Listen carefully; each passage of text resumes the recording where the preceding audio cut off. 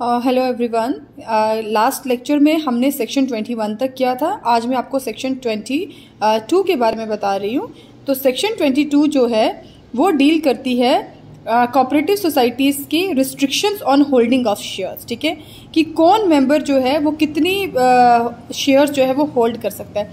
अगर हम particularly members की बात करें तो जो टोटल शेयर कैपिटल होगा मेंबर्स का वो 150 से ज़्यादा एक्सीड नहीं होना चाहिए। और जो उनका क्लेम होता है क्लेम ऑफ़ इंटरेस्ट जो कोई भी इंटरेस्ट के लिए जो वो क्लेम करते हैं, वो एक हज़ार रुपए से ऊपर नहीं होना चाहिए। लेकिन अगर हम बात करें उस सोसाइटी की जो फाइनेंसिंग बैंक्स में इन्वॉल्व है, यानी जो जो कॉपरेटिव बैंक्स जो होते हैं, उनके मेंबर जो है, वो क्लेम कर सकते हैं शेयर्स में अपना इंटरेस्ट वो फाइव थाउज़ेंड रुपीज़ से ऊपर नहीं होना चाहिए, ठीक है? नेक्स्ट आ जाता है section twenty three section twenty three deal करता है कि जो ट्रांसफ़र ऑफ़ शेयर्स और इंटरेस्ट की कोई भी शेयर्स हर आपको पता है कि कोई भी कॉपरेटिव सोसाइटी के जो मेंबर्स होते हैं, जब वो कॉपरेटिव सोसाइटी का पार्ट बनते हैं, उसके साथ एसोसिएट होते हैं तो उनके उसमें शेयर्स होते हैं।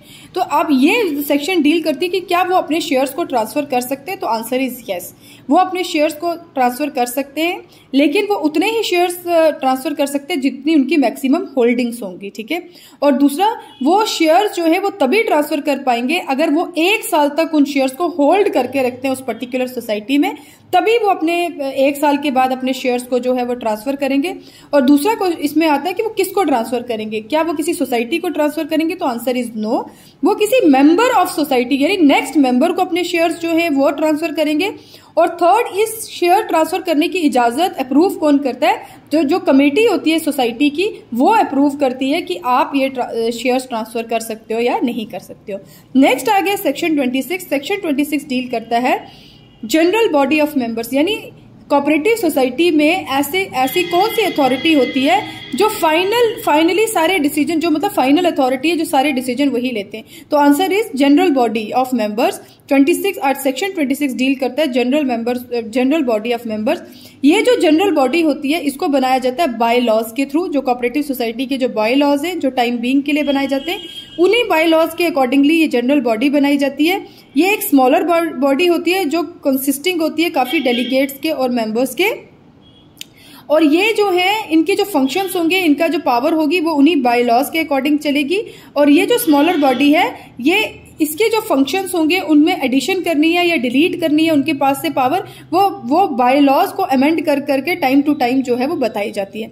लेकिन ये जो जनरल बॉडी होती है, चाहे इसके पास फाइनल अथॉरिटी ज़रूर होती है, लेकिन ये कभी भी जो ऑलरेडी जो एग्जिस्टिंग कमेटीज हैं या कोई ऑफिसर है कोऑपरेटिव सोसाइटी का उनको कोई इफ़ेक्ट नहीं कर सकता, उनकी पावर को इफ़ेक्ट नहीं कर सकता है। लेकिन फाइनल अथॉरिटी जो होती है, वो जनरल बॉडी के पास ही होती है।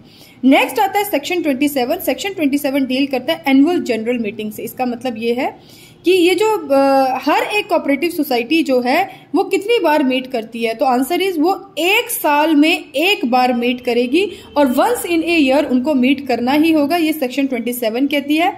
लेकिन मेन यहाँ पे ये आपको याद रखना है कि इसका पर्पज क्या है? क्यों ये कोऑपरेटिव सोसाइटीज मीट करती है? तो सबसे पहले इनका पर्पज ये होता है कि जो भी प्रोग्राम्स इन्होंने सेट किए हैं, उनको अप्रूव करना। जो जो कमिटीज ने जो प्रोग्राम बनाए हैं या कोई अमेंडमेंट्स हुई हैं, उन सबको अप्रूव करना। इलेक्शंस करवाना नॉमिनेट मैंने आपको जैसे बताया था, एक नॉमिनेटेड मेंबर होते हैं एक इलेक्टेड मेंबर्स होते हैं तो इलेक्टेड मेंबर्स के इलेक्शंस करवाना ऑडिट रिपोर्ट को कंसिडर करना एनुअली किस तरीके से ऑडिट किया जाएगा कॉपरेटिव सोसाइटीज को, उनको उनको, उनकी कंसिडरेशन करना, और सबसे इंपॉर्टेंट जो नेट प्रॉफिट है उसका डिस्पोजल करना। तो ये जो एनुअल मीटिंग है, ये हर साल होती है। नेक्स्ट आता है section 28 section 28 is also important because ये डील करती है स्पेशल जनरल मीटिंग अभी मैंने आपको बताया था कि एक जनरल मीटिंग होती है जो हर साल होनी ही होनी है। इसके अलावा कभी कभी एक स्पेशल जनरल मीटिंग भी होती है। ये जो जनरल मीटिंग जो होती है, वो किसी भी टाइम पे बुलाए ये ज़रूरी नहीं है कि साल में एक बार होगी। ये कभी भी जो है, वो बुला सकते हैं इस जनरल मीटिंग को। और इस जनरल मीटिंग के लिए एक रिसिप्ट ऑफ़ रिक्विजिशन जो है, वो राइटिंग में रिसिप्ट ऑफ़ रिक्विजिशन जो है, वो इशू करते हैं रजिस्ट्रार उस रिसिप्ट ऑफ़ रिक्विजिशन को वन मंथ के अंदर अप्रूव करना होता है यानी वन मंथ जैसे ये रिसिप्ट इशू की उसके एक मंथ के अंदर ये मीटिंग जो है वो करवानी होती है। लेकिन अगर ये मीटिंग नहीं हो पाती बाय द वे किसी भी वजह से तो रजिस्ट्रार या कोई भी ऐसा पर्सन जिसको रजिस्ट्रार ने ऑथोराइज किया है वो उसके बिहाफ पे आ, उसके पास पावर आ सकती है कि वो फिर वो कभी भी ये मीटिंग जो है आ, वो आ, स्टार्ट जो है वो करवा सकता है इसको कन्वीन करवा सकता है। लेकिन कन्वेंशन ये है कि मीटिंग करवाने से पहले, एक महीना पहले जो रिसिप्ट ऑफ़ रिक्विजेशन है, वो दी जाती है मेंबर्स को और उनको बोला जाता है, वो ये मीटिंग स्पेशल मीटिंग जो है, वो अटेंड करें. नेक्स्ट आता है सेक्शन 29 सेक्शन 29 बहुत इंपॉर्टेंट है, क्योंकि ये डील करता है elections and nomination of members of committees कि जो भी कमेटीज हैं कॉपरेटिव सोसाइटीज की, उन कोऑपरेटिव्स के जो इलेक्टेड मेंबर्स और नॉमिनेटेड मेंबर्स के साथ में ये डील करता है, क्योंकि हर एक कमेटी जो कॉपरेटिव के साथ डील करती है, वो सिर्फ़ थ्री ईयर्स के लिए जो है कमेटी बनाई जाती है। थ्री ईयर्स के बाद उस कमेटी को क्या करना होता है? चेंज करना होता है। लेकिन उसके इलेक्शंस के लिए सबसे पहली जो चीज़ आपको याद रखनी वो ये है कि उसका इलेक्शन वही लड़ सकता है जो उस सोसाइटी का शेयर होल्डर होगा, ठीक है? जिसने शेयर्स एक्वायर्ड किए हैं उस सोसाइटी के, वही इस मीटिंग को जो है सॉरी वो इस, वही इस इलेक्शन को जो है वो लड़ सकता है। और ये जो इलेक्शंस होंगे वो मैंने जैसे आपको कहा कि हर कमेटी जो है वो तीन साल तक ऑपरेट करती है। यानी उनके तीन साल होने से पहले यानी जब 90 डेज़ रह जाएँगे तो ये ज़रूरी होता है कि इलेक्शन जो है वो करवाए जाएँ और एक नई कमेटी जो है वो बनाई जाए। ये जो आ, कमेटी है अगर इसको बनने से पहले यानी कि अगर इसकी जो तीन ईयर्स हो गए उससे पहले अगर नई कमेटी नहीं बनाई जाती है तो उस केस में गवर्नमेंट या फिर रजिस्ट्रार इधर आपको याद रखना पड़ेगा, या तो इधर गवर्नमेंट या फिर रजिस्ट्रार जो है, वो क्या करती है अपॉइंट करती है एक बोर्ड ऑफ़ मैनेजमेंट और एडमिनिस्ट्रेटर यानी वो अगर कमेटी नहीं बना पाए, किसी भी वजह से इलेक्शन डिले हो गए या कुछ भी रीजन हो सकता है तो उसमें जो गवर्नमेंट होगी या रजिस्ट्रार जो है वो एम्पावर्ड हो जाते हैं कि वो एक बोर्ड ऑफ़ मैनेजमेंट या बोर्ड ऑफ़ एडमिनिस्ट्रेटर बनाएँगे। और ये जो बोर्ड ऑफ़ एडमिनिस्ट्रेटर या बोर्ड ऑफ़ मैनेजमेंट जो है, ये कब तक काम करेंगे, ये तब तक काम करेंगे जब तक कि नई कमेटी जो है वो बन के नहीं आ जाती। तब तक जो है ये काम करेंगे। और इनके जो प्रोविजंस होते हैं, ये बोर्ड ऑफ़ मैनेजमेंट या बोर्ड ऑफ़ एडमिनिस्ट्रेटर्स के, ये भी जो है वो बाय लॉस के अकॉर्डिंग चलते हैं, ठीक है?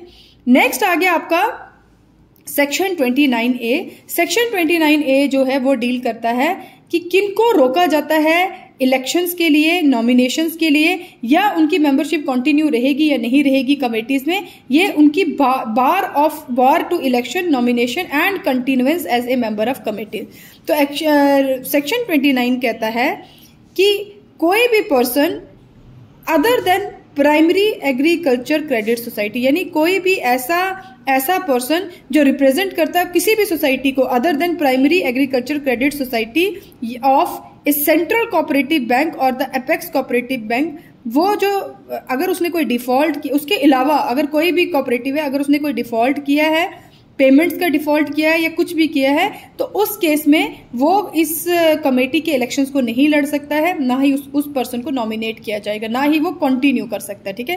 पहला वो पर्सन होगा जो primary credit agriculture credit society को छोड़ के बाकी जितनी भी सोसाइटीज हैं, अगर उसमें ऐसा कोई फ्रॉड उसने किया है।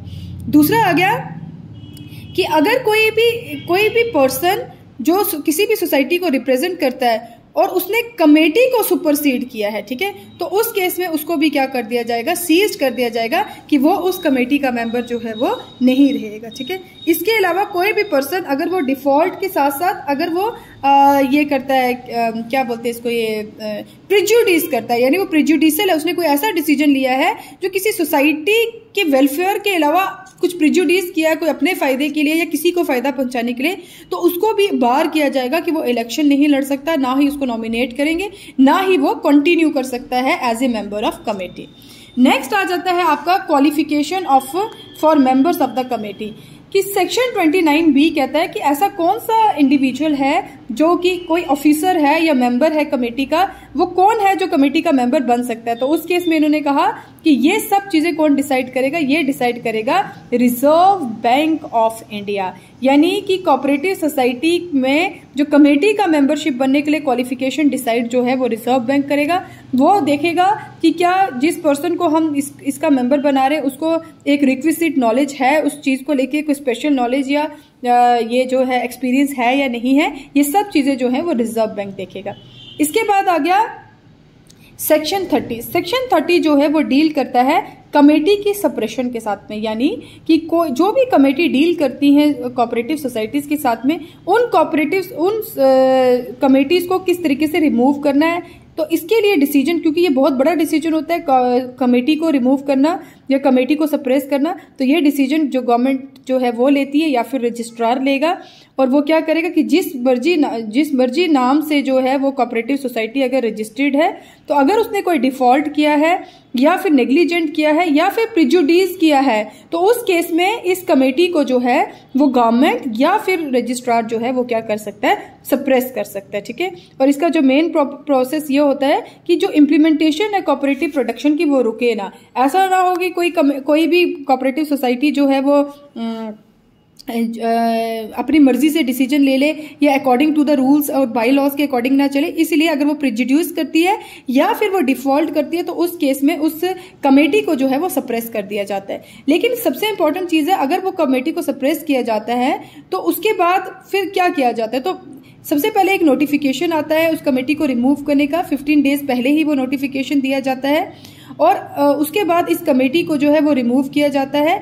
इसके अलावा एक या एक से ज़्यादा एडमिनिस्ट्रेटर्स जो हैं, वो फिर सोसाइटी उसमें एक बोर्ड बनाया जाता है और एक या एक से ज़्यादा एडमिनिस्ट्रेटर्स को उसमें अपॉइंट किया जाता है और उन एडमिनिस्ट्रेटर्स का काम है कि सोसाइटी का जो जितना भी काम है, उसको संभालना और उस पीरियड तक मतलब दो मंथ से ज़्यादा जो है वो इसका ये मतलब है कि जब भी कोई कमेटी को रिमूव किया जाएगा, उसके बाद एक बोर्ड बनाया जाएगा। उस बोर्ड में एक या एक से ज़्यादा जो एडमिनिस्ट्रेटर्स होंगे और उन एडमिनिस्ट्रेटर्स का काम है कि इस सोसाइटी के अफेयर्स को कॉन्टिन्यूसली चलाते रहना और उनको मैनेज करना। लेकिन वो, ये सब चीज़ें जो है, वो दो महीने तक कर सकते दो महीने से ज़्यादा नहीं कर सकते, क्योंकि दो महीने के अंदर उनको इलेक्शंस करवाने होते हैं सो दैट ये कमेटी जो है वो फिर से बन सके और वो फिर से according to the bylaws जो है, वो किसी भी कॉपरेटिव सोसाइटी को जो है वो चला सके। तो ये था this is all about section thirty इसके बाद जो सेक्शन है, वो बहुत ईजी सेक्शन है, क्योंकि वो सेक्शन ज़्यादातर डील करती है, जैसे एग्रीकल्चर बैंक्स के साथ में हाउसिंग सोसाइटीज़ के साथ में, वो आप आराम से कर सकते हो। जो कम्प्लेक्स सेक्शंस थे जो corporate J and K cooperative society act 1989 के, वो मैंने आज आपको कंप्लीट करवा दिए। उसके बाद भी अगर कोई कोई, अगर आपको किसी भी आगे इसी एक्ट में अगर कोई प्रॉब्लम होगी तो आप वो मुझे बता सकते हैं। Thank you so much